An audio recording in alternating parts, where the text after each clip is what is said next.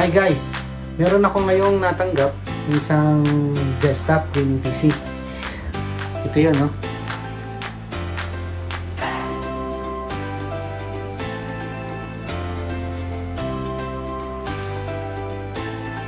Itong gaming PC na to, may anomaly problem siya. Ano yung ibig ko sabihin na anomaly problem? Usually kasi kapag nagpalit tayo ng graphics card, ang mangyayari lang is change mo yung bago mo graphics card doon sa old graphics card mo. Pagkatapos magbuboot na siya doon sa operating system na nag exist which is na anong nangyari dito sa customer hindi ganun. Ang reklamo ng customer is nung pagkapalit niya ng graphics card hindi na siya nag-boot. Always na nangyayari daw is pumupunta lagi siya sa BIOS. Ngayon sa video na to ituturo ko sa inyo kung paano natin marirepair yung ganitong issue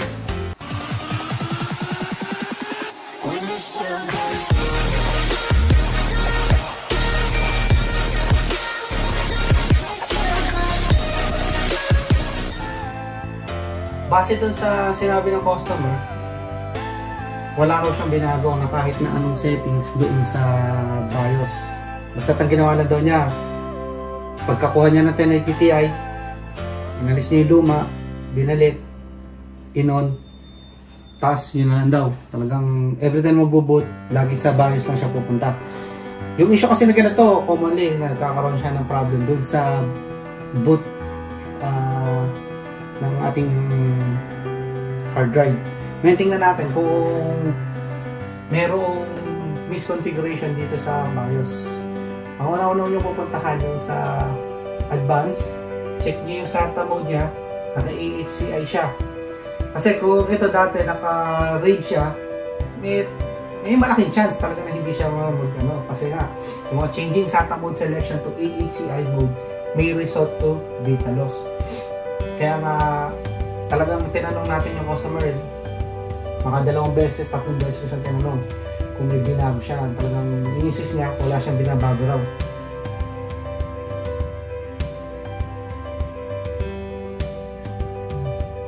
Secure. Ah, no. Secure restore. Dito. Ah, boot normal, advanced. Ito.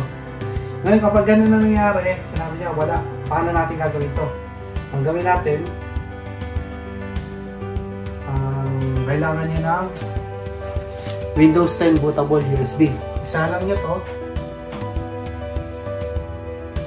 Kailangan niyo na mag-run yung USB.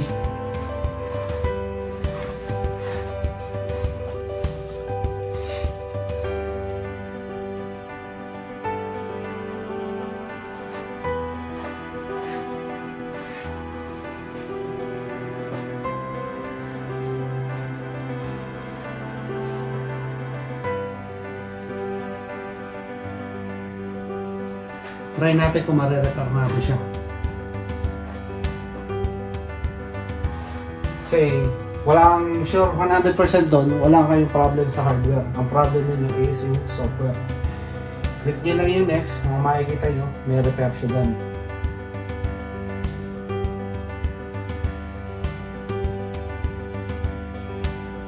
Ito, piliin yung startup repair.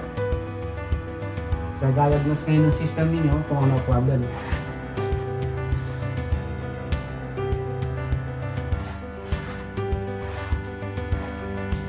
Hindi daw kaya repair.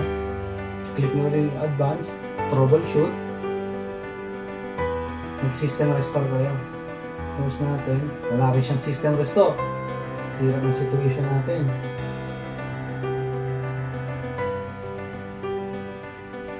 image recovery. Wala rin siyang image recovery. Ngayon, kapag ganito, pwede natin gawin, i-check natin, i-verify talaga natin kung meron talaga siyang Windows.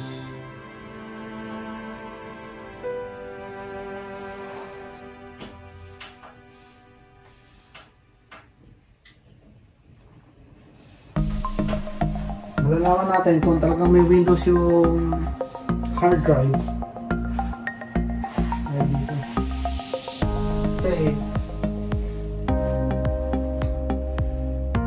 Kung pagpapasayan ko lang lahat ng sinasabi ng customer natin, kailangan may proof din tayo na talagang may okay siya. Baka mamaya kasi dalawa yung hard disk niya. Di ba? Pag dalawa yung hard disk mo, ibig sabihin nun, baka hindi lang nadidetect yung isa niyang primary hard drive which is yung nandun yung Windows.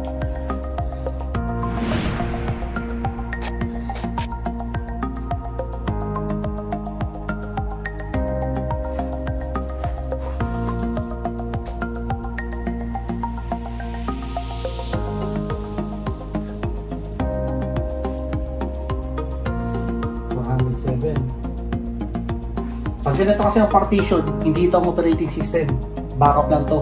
Ibig sabihin, pwede na natin ngayon i-conclude na hindi nadidetect yung mismo pangalawang hard drive niya. Which is na ngayon titingnan natin sa loob ng computer kung bakit hindi siya nadidetect. Okay?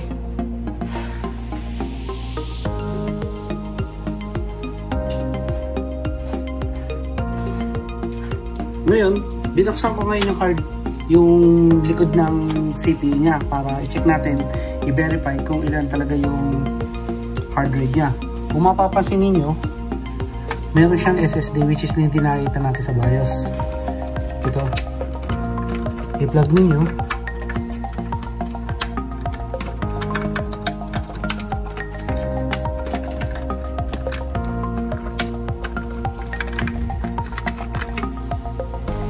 Ayun yung 2 tera niya, oh. 'Di ba?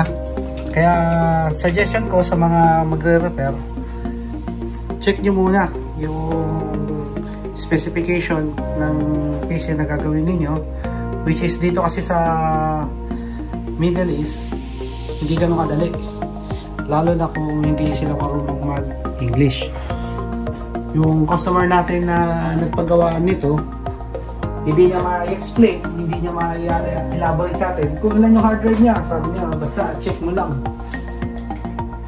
Basta gumagana yan. Hindi lang ang lagi na sinasabi sa akin.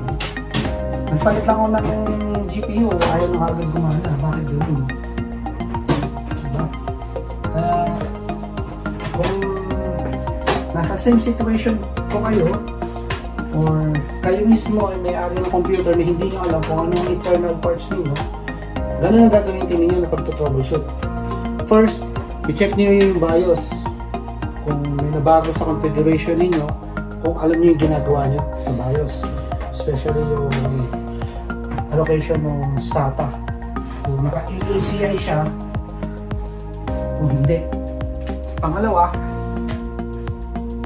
i-check ninyo sa BIOS kung or sa Windows Utility repairable ba or yung hard drive mismo na nakikita nung nasa BIOS eh operating system siya. Paano natin nalalaman na may operating system siya? Hindi ganun kasi ang allocation ng ano eh, ng partition. Pag ganun, normal hard drive lang siya, hindi siya bootable drive. Kaya alam ko agad na hindi siya bootable drive which is doon lang nakasave yung mga data niya. Ngayon, try natin ngayon.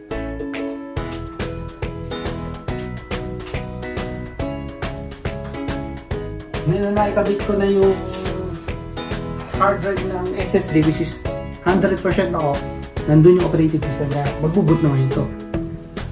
Kaya note lang ah.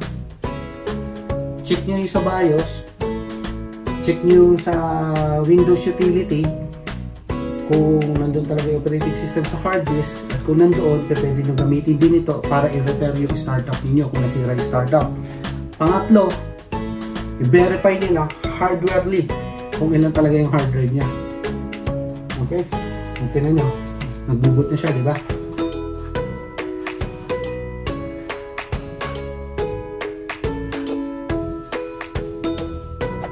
Mahirap lang kasi yung naging situation natin gawa ng yung customer wala talaga siyang knowledge kung ano yung hardware specs niya, hindi niya sa atin masabi kung ano.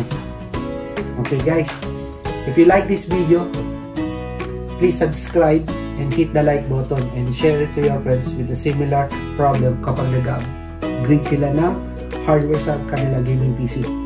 Okay? Bye!